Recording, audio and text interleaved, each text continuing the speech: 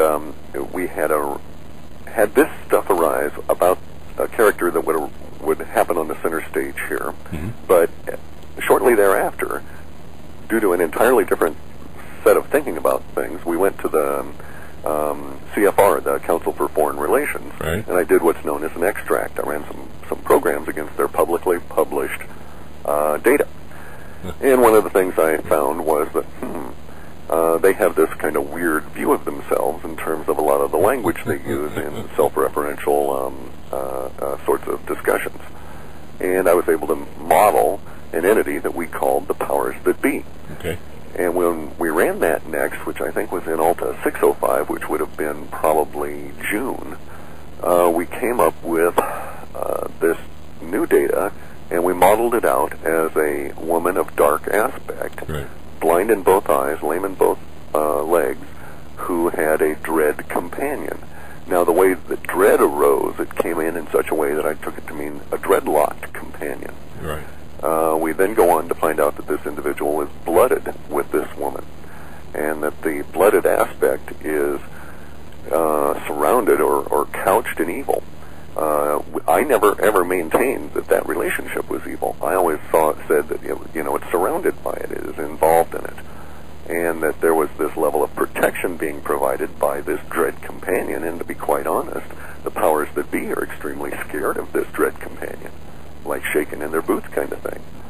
That's the information we get from our data. Well, that doesn't fit Cindy Sheehan. But it does in a weird kind of way if you look at it from the powers that be viewpoint. Okay. And and I don't want to be a person who trades on another individual's grief. Yeah. So we won't go there. But just imagine that I'd gotten this wrong again. That the woman with dark aspect is Cindy Sheehan, laboring under the dark aspect.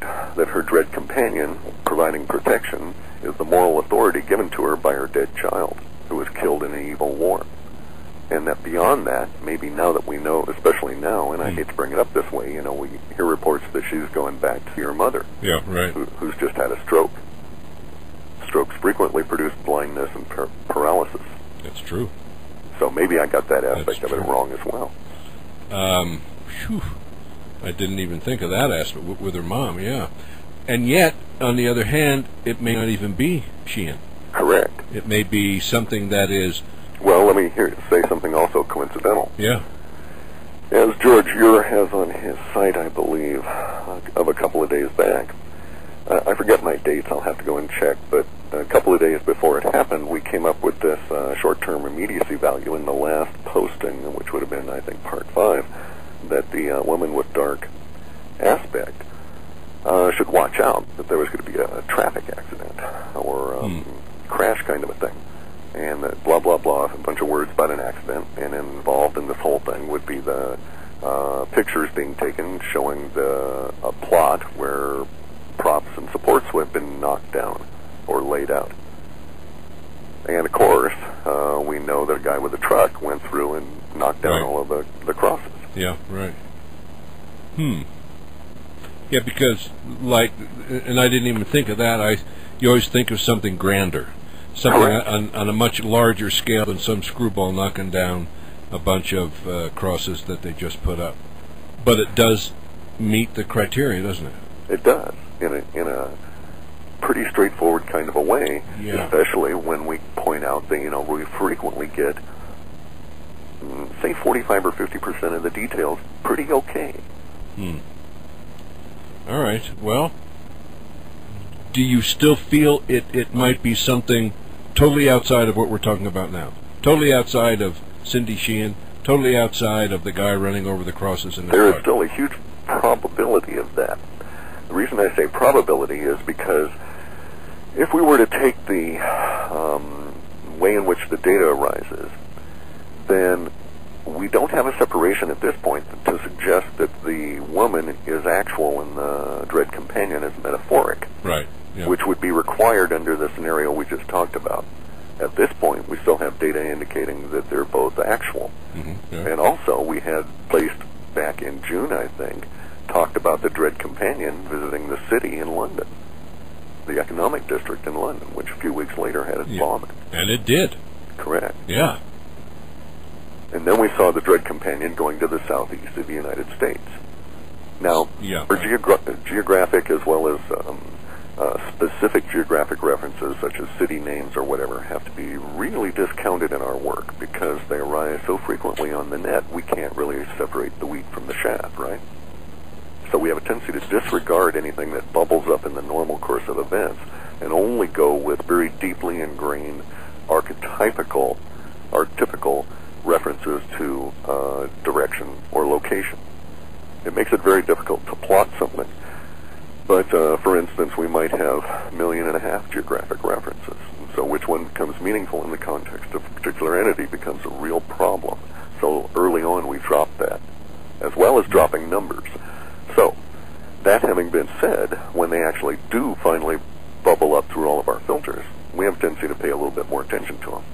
So I would suggest that at this point, the I don't have any real solid personal gut level feeling that Cindy Sheehan is indeed the uh, woman of dark aspect. Yeah. Hmm. Everything else has been so exact. I, I, I, I wonder if Southeast really is where the individual is and it's not Cindy Sheehan at all in the Southwest. Correct. Although we must point out, I think that Bush's ranch is more in the southeast of Texas.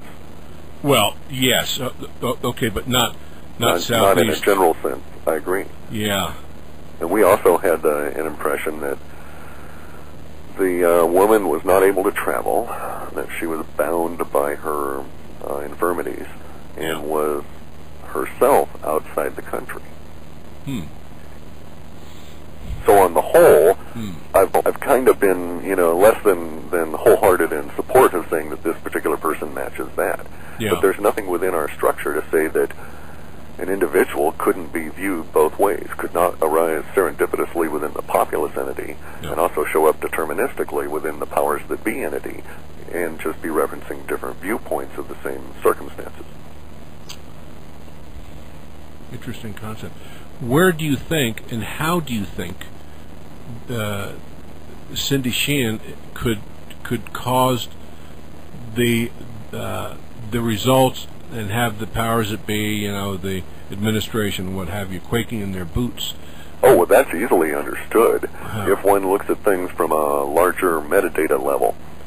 I believe we've discussed that we had a metadata level change here. Yeah. And we went from words associated with uh, union, cohesion, uh, those things that bind uh, people like constitutions and so on. Right. And we moved over to a period where we're, we've come into words representing militancy. Um, during this period of time, if we look at it from a metadata level, the fear that the powers that be might have would directly relate to um, Sheehan and could be viewed very easily, uh, metaphorically even, where the dread companion is her moral authority. Yeah. This yeah. cannot be questioned, right? They can do anything they want to trash her, Right. but but they're in a funny position because they can't trash the dead hero, That's true. and the dead hero is her child, and she's claiming criminal waste, and so her moral authority is instantly more than theirs.